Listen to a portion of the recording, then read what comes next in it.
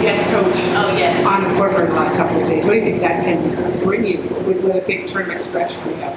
Yeah, I mean, it's something that they're just starting, and you know, I, I'm really open to learning from the game and learning from people and um, getting different perspectives. Um, so I think that it'll help me. Um, and you know, my team, I think, have done a good job communicating amongst themselves before they bring anything to me. So I really feel like we're all on one page and on one accord. Um, and yeah, I think that having someone with a little bit more experience will help me. Um, will help me like for the pressure moments, the semifinals, finals, quarterfinals, those moments um, that I still think I need to get better at.